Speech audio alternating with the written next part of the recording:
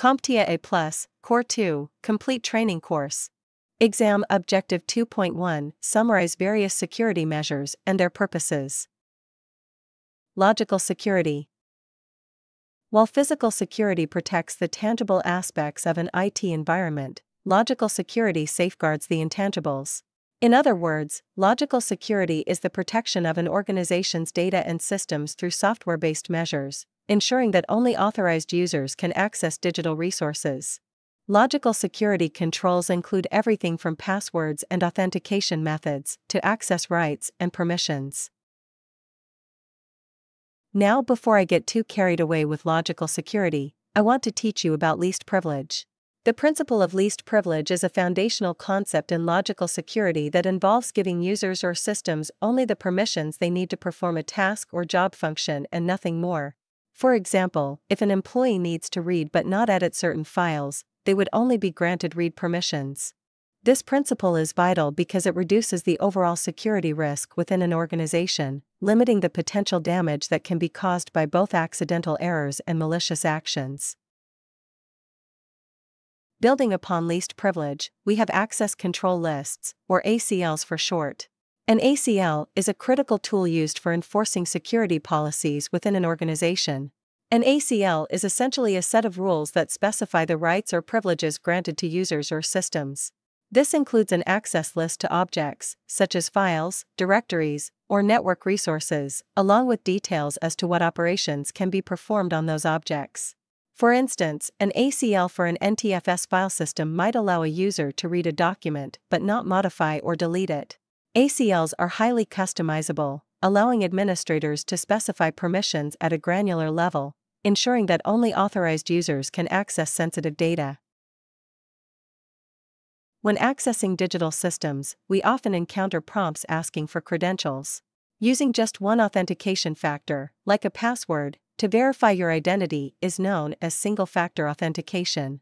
This straightforward process, often abbreviated as SFA, verifies your identity using only one piece of evidence. However, as our security needs have evolved, so have our authentication methods. Enter multi-factor authentication, or MFA.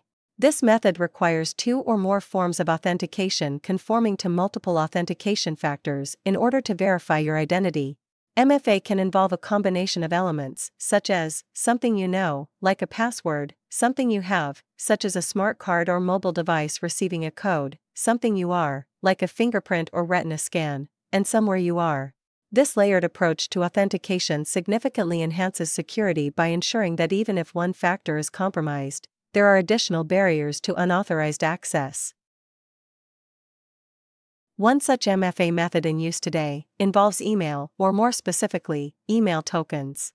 With this option, a code or link is sent to your email address as a second step in verifying your identity. After entering your password, you receive an email containing a unique, time sensitive code or a link that you must use to complete the login process. This added layer of security is crucial because even if an attacker knows your password, they would also need access to your email account to gain entry, making unauthorized access significantly more difficult. Next, there are hard tokens. A hard token is a physical device used as part of an MFA system to enhance security.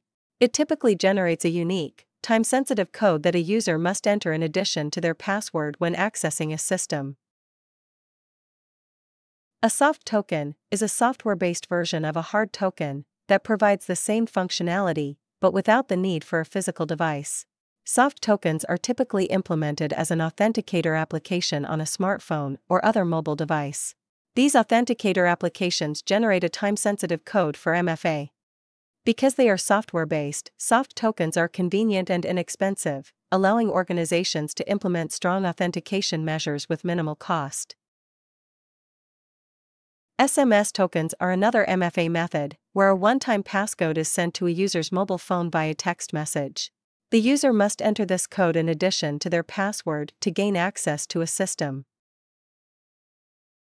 And for one more MFA method, we have voice call tokens. Voice call authentication operates similarly to SMS based authentication, but instead delivers the one time passcode through a phone call. The user answers the call, listens to the code, and then enters it into the system.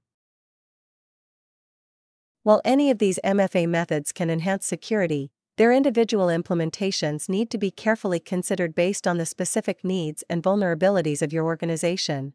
It's important to choose the method that provides the best balance between security and user convenience, ensuring that your defenses are both robust and practical for everyday use.